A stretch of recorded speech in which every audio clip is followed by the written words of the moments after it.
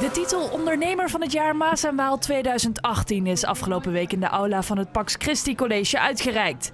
Henry, Hanny en Erwin Kokke van het standbouwbedrijf Heco Projecten uit Druten gingen er met de titel vandoor.